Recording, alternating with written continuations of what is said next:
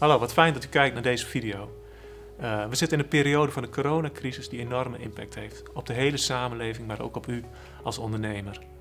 Uh, een hoop vragen die bij u opkomen. Kan ik gebruik maken van regelingen als het gaat over uw bedrijfsvoering? Daar hebben we een heel team voor klaarzitten. Die hebben we met een noodloket hier in het gemeentehuis, maar ook bij onze kennispartners.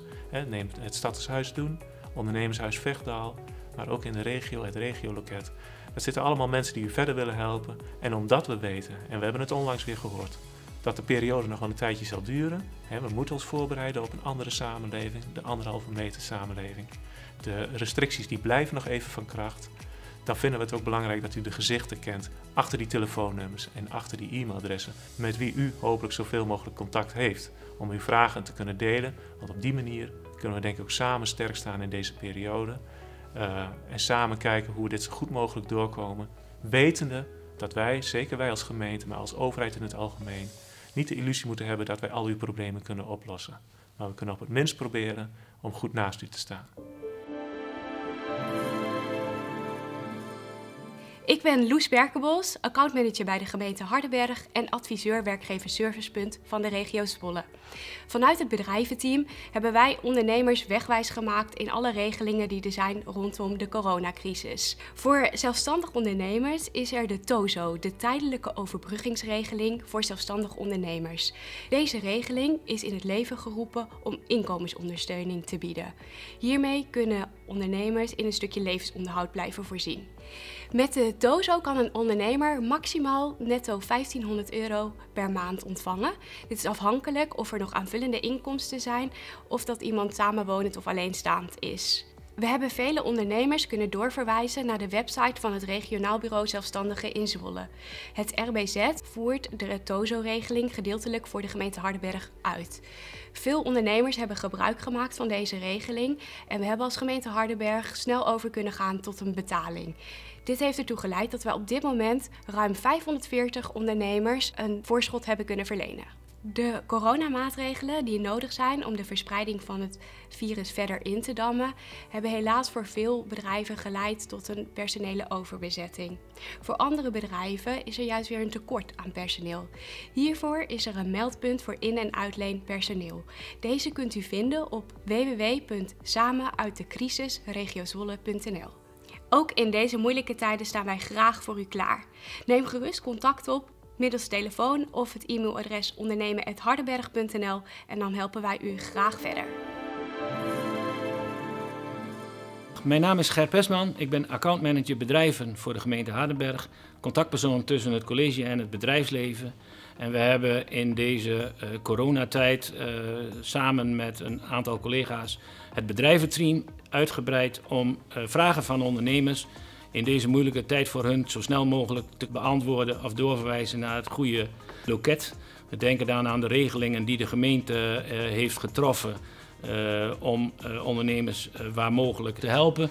Denk dan aan een korting op de BIS belasting voor ondernemers in de centra. We willen de facturen die wij krijgen sneller betalen. Het opschotten of gespreid betalen van gemeentelijke belastingen. We geven huuruitstel voor gemeentelijke gebouwen voor de maanden april en mei.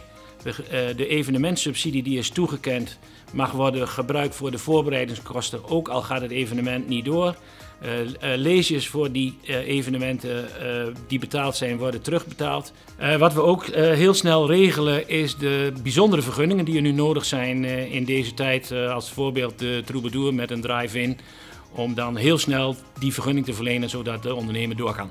We hebben en houden het mailadres ondernemen.hardenberg.nl. Ondernemers kunnen altijd, ook in de toekomst, al hun vragen die ze hebben stellen op dat mailadres.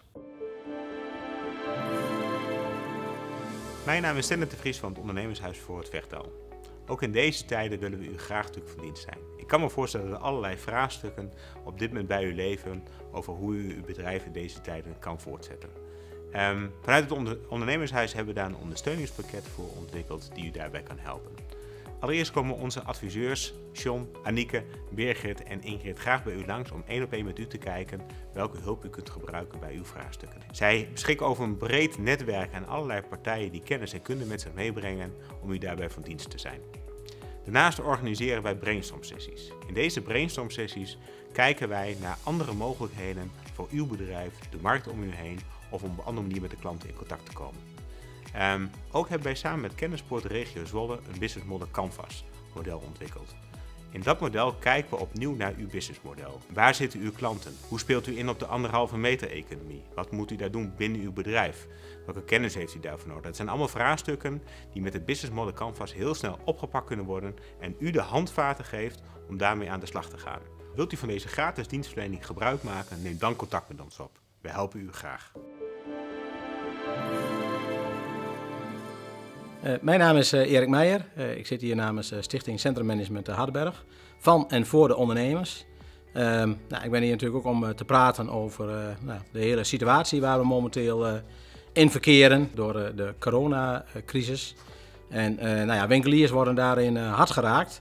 het is wel per branche verschillend, moet ik aangeven. Maar over het algemeen is het toch best wel heel veel omzetverlies. Desalniettemin moet ik zeggen dat ondernemers echt uh, nou, de schouders eronder blijven zetten. Heel positief blijven uh, in het geheel. En nou, ook de samenwerking met elkaar zoeken. De horeca die is natuurlijk ja, nog steeds gesloten. Doen wel hele creatieve dingen met elkaar. Door afhaal, bezorging, zelfs drive-ins. Van alles is er te vinden. Dus ondernemers worden ook creatief. Geldt ook overigens voor, voor andere branches. winkeliers die nog nooit hebben bezorgd, die bezorgen nu. Of die hebben uh, zelfs een, uh, een modeshow uh, via Facebook. Dus allerlei mooie initiatieven ontstaan. Daarnaast hebben wij een campagne opgezet. En die campagne heet Support Your Locals Hardenberg. Dat is een campagne die we eigenlijk al nou, van plan waren om in te gaan zetten. Maar juist door deze crisis nou, eerder handen en voeten heeft gekregen. die zijn met name gericht op het veilig winkelen. wat u als ondernemer daaraan doet om veilig uh, winkelen mogelijk te maken voor, uh, voor onze consumenten. Uh, daar hebben we filmpjes van gemaakt, foto's van gemaakt. En dat is een campagne die op dit moment loopt. Mijn naam is Peter Zwartscholten van Startershuis Doen. We begeleiden veel mensen in de weg naar ondernemerschap. He, dus voordat ze met hun bedrijf gaan beginnen. Maar ook daarna coachen we ze om ze naar de juiste wegen te leiden. Deze tijden vragen echter toch ook om aanpassing en aandacht en extra inzet. Zo gaan wij onze doelgroep uitbreiden met gevestigde ZZP'ers en kleine MKB-ondernemingen. We hebben daartoe een nieuw actiepakket Doen samengesteld waarin we vijf beloftes doen. U staat er niet alleen voor. U kunt gebruik maken van alle contactmogelijkheden die er digitaal zijn, maar ook ons kantoor in de Kastanjehof is voor u geopend onder de RIVM-richtlijnen. Noodmaatregelen COVID-19. Welke noodmaatregelen zijn er allemaal voor u beschikbaar? Waar moet u zijn? En wat als u financiële problemen heeft of ervaart? Wij gaan net zo lang door tot u weer een beetje blijer wordt. Creativiteit, oplossingen en inspiratie. Want dat heeft u nodig. Samen één op één kijken naar nieuwe strategie in de nieuwe economie.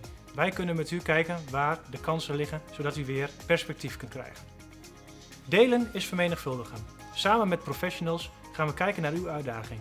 U presenteert uw uitdaging of uw probleem en u krijgt in korte tijd veel ideeën teruggepresenteerd. En daarmee kijkt u wat de beste oplossing voor u zou kunnen betekenen kennis opdoen. We gaan gewoon door met onze coaching, trainings en opleidingsprogramma's. Dat betekent dat we diverse webinars klaar hebben staan en dat we binnenkort met de eerste online ondernemersschool van Nederland gaan beginnen. Een speciaal programma voor startende ondernemers waarin ze hun volledige businessplan gaan schrijven uh, onder begeleiding van een aantal professionals. Naast deze vijf beloftes zijn we de laatste tijd hard aan het werk gegaan met het ondernemershuis van het Vechtdal en de gemeente Hardenberg. Samen zijn we tot het idee gekomen om een online platform te creëren. Dat platform heet www.ondernemeninhardenberg.nl. Op 1 mei aanstaande gaat dit platform live en is speciaal bedoeld om heel veel kennis en informatie te delen met ondernemend Hardenberg. Mijn naam is Martijn Breukelman, wethouder van onder andere Financiën en Sport in de gemeente Hardenberg. En er zijn een heel aantal maatregelen die we nemen voor ondernemers. Bijvoorbeeld het sneller betalen van facturen, een korting op de BIS-belasting of het uitgesteld of gespreid betalen van belastingen. Maar naast ondernemers komen ook een heel aantal sportverenigingen en stichtingen in de problemen. Voor verenigingen en stichtingen zeggen we dat ze de huur uitgesteld kunnen betalen. En verenigingen of stichtingen die echt in de problemen komen, willen we helpen met maatwerk. Bijvoorbeeld door tijdelijk financiële ondersteuning te bieden. En al die maatregelen bij elkaar maakt het ook voor de gemeente best wel spannend. Aan de ene kant willen we ondernemers en stichtingen, verenigingen zo goed mogelijk helpen en ondersteunen, maar we moeten en willen ook financieel gezond blijven als gemeente. Best een spannende opgave in deze tijd. Maar die opgave zal nog een tijdje blijven, want de coronamaatregelen blijven nog een tijdje in stand. En dat moet ook. Alleen op die manier krijgen we met elkaar corona onder controle. Dat vraagt veel van u en mij en van de samenleving in het geheel. Maar we moeten dat een tijdje volhouden. En tot die tijd willen we als gemeente, ondernemers, verenigingen en stichtingen zo goed mogelijk helpen. Samen met elkaar komen we zo de crisis door.